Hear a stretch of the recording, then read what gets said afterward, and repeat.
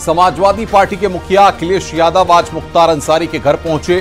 मुख्तार की मौत के बाद आज अखिलेश यादव ने मुख्तार के घर पहुँचे हुए थे।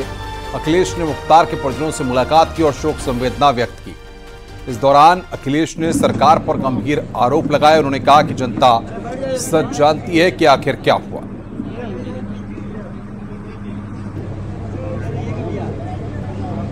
खासकर ये परिवार आज भी गरीबों के दुख दर्द में शामिल है। क्या हमने, आपने नहीं देखा कि जन सैलाब यहाँ पर आ गया?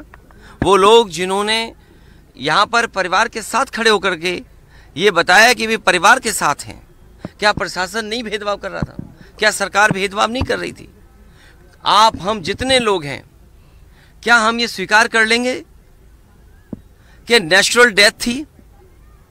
क्या आम जनमानस में ये भावना नहीं है कि कुछ सरकार छिपा रही है? और रशिया में क्या एक लीडर ऑपोजिशन को जहर देकर नहीं मारा गया?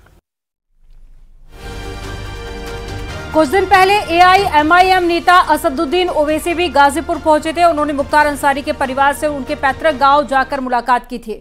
इसके अलावा राष्ट्रीय शोषित समाज पार्टी के नेता स्वामी प्रसाद मौर्य भी मुख्तार अंसारी के परिवार से मुलाकात कर चुके हैं। तीन तस्वीरें आपको दिखा रहे हैं। पहली तस्वीर में आप देखिए, ओवैसी आपको नज़र आएँगे जो कि अंसारी के परिवार से मिलने के लिए पहुँचे थे और इस दौरान इफ्तारी करते हुए भी नज़र आए। दूसरी तस्वीर आपको दिखा रहे हैं, ये सात अप्रैल दो हज़ार चौबीस की है।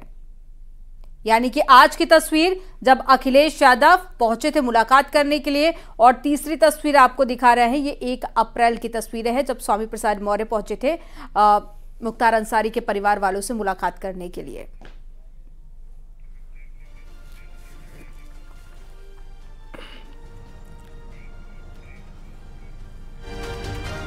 अब वक्त हो चुका है एक ब्रेक का।